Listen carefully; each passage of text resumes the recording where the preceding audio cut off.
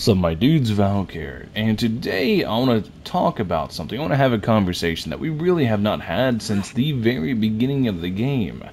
A conversation about collabs, potential collabs, what they could look like, etc and this game's insane potential for collabs, and there's a reason I'm bringing it up. It's a conversation that I wanted to bring back up, conversation we haven't had since it was a since the game was a beautiful baby, but now it's grown an extra appendage with Inazuma, and there's one other thing that is pretty much very interesting that creates a lot of potential for collabs. Uh, the Golden Apple Archipelago. Here, right here, the Golden Apple Archipelago. This is a time limited area that was made purely for 1.6.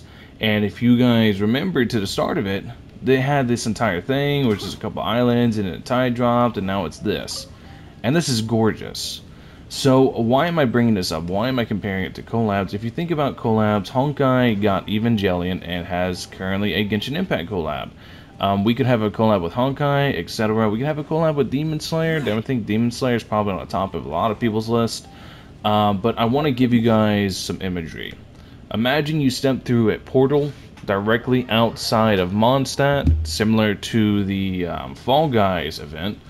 Um, you step through that portal, you come to, and you're just walking through a forest where immediately attacked in some cutscene by some demons, and, and you are saved by Tanjiro and the gang from that demon.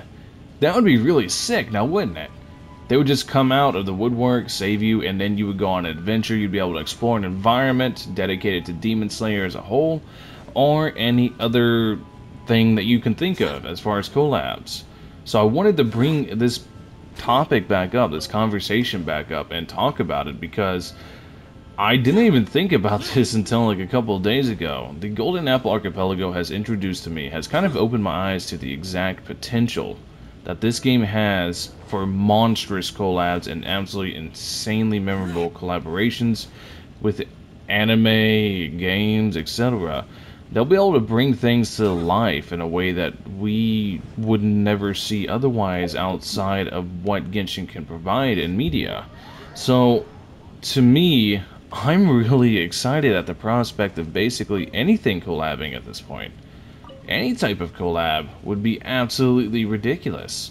I have specific collabs I would love to see, like I'm sure you guys do. I would kill for a Berserk collab, but if a Berserk collab doesn't happen and we get, I don't know, Power Rangers, who knows, we get something else entirely, then I think I would still be ecstatic regardless of what it is, purely because of just how beautiful they make everything they do in this game, even in something as time limited as these islands. So that's basically the video. Let me know your guys' thoughts in the comment section below. Do you guys think that any collab this game does is going to be absolute insanity like I do? And if so, what collabs would you guys like to see? That's basically the video for today. Thank you all for watching. As always, I will catch you guys next time. Hope you have a wonderful rest of your day. Peace.